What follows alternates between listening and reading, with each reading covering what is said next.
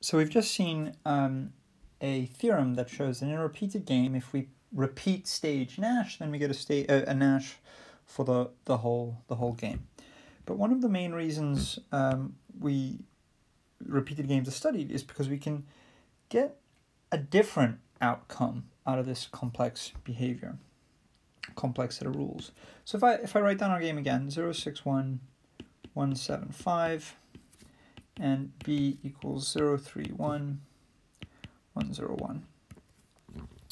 And um, remember, I'm using uh, R1, R2, and C1, C2, and C3 as my, my actions.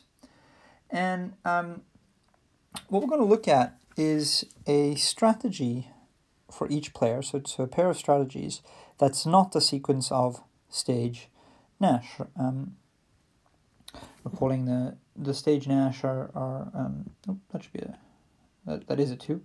Um, the stage Nash are just immediately identified by um, by looking at best responses, and we see that uh, this and and this are our stage Nash. Um, now, let's consider the following strategy. So for the for the row player,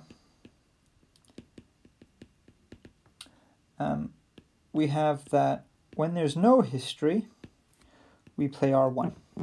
Okay? So the very that, that's what I'm saying. The first move, play R1. And then if the other player plays C1, then play R2. If the other player plays C2, also play R2. But if the other player plays C3, uh, sorry, then also play R2. So in essence, this, this strategy is just the row player start by playing R1 and then play R, R2. Okay? Um, we're not writing down the histories for R2, C1, sorry, the, the actions for R2, C1, R2, C2, and R2, C3, only because um, this is something that the first player actually controls. So we're just not, not worrying about those. And then for the column player, we're going to say that, okay, the first move, so 5 high, is given by c2. And then if the first player plays r1, play c3. And if the first player, uh, oops,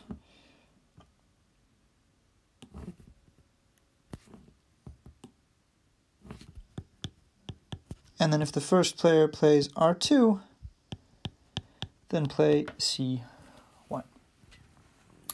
now, this is a bit of a, a bit of a mouthful, but it is the mathematical representation of essentially saying that um, if uh, that, that both players start by playing R1 and C1, so uh, R1 and C2, pardon me, so start um, here. And as long as uh, the row player um, cooperates, um, then the column player will play um, C3, right? Now, um, the, the way we can see this is we know that the last move has to end at a Nash. So we know the last move will end up here, here, or here, here. Um, so we we can realize that essentially the row player has to play R2 in the second term, right? Which is what we have here. But the row player would really appreciate, um, sorry, but the, the column player would really appreciate getting this 3 in the first uh, stage.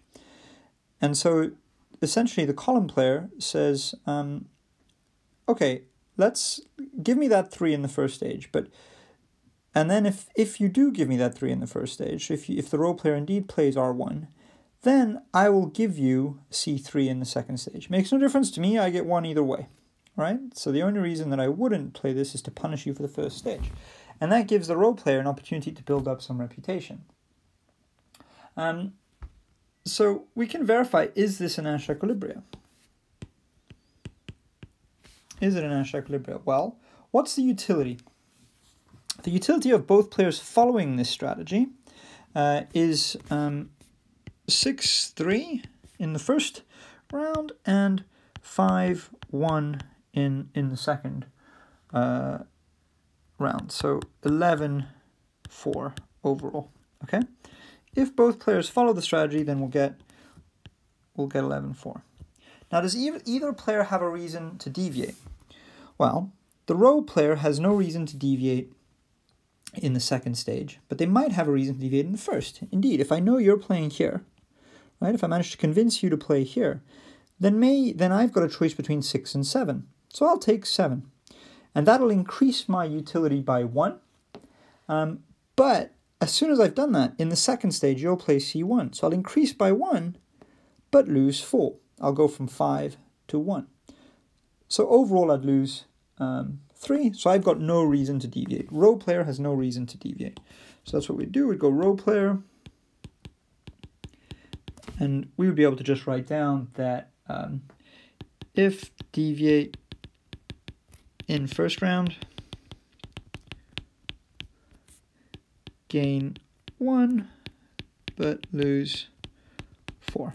So the row player has no reason to deviate. So given that the column player is playing this, the row player has no reason to do anything else but this. And we could just see, right? We could just see what happens if we if we change a, a variety of, uh, of moves. And then if we look at the column player, um, if we look at the column player, well, the column player has no reason to deviate in the second stage because in the second stage we're, we're here, right? The row player is playing R2, and the column player has no reason to deviate from uh, either of, of these uh, two options, depending on what the, row player does. The only deviation the column player has to make is in the first um, stage, but remember in the first stage, we're assuming the row player is playing R1, so then the column player's got a choice between 0, 3, and 1, so no reason to deviate. And so this strategy,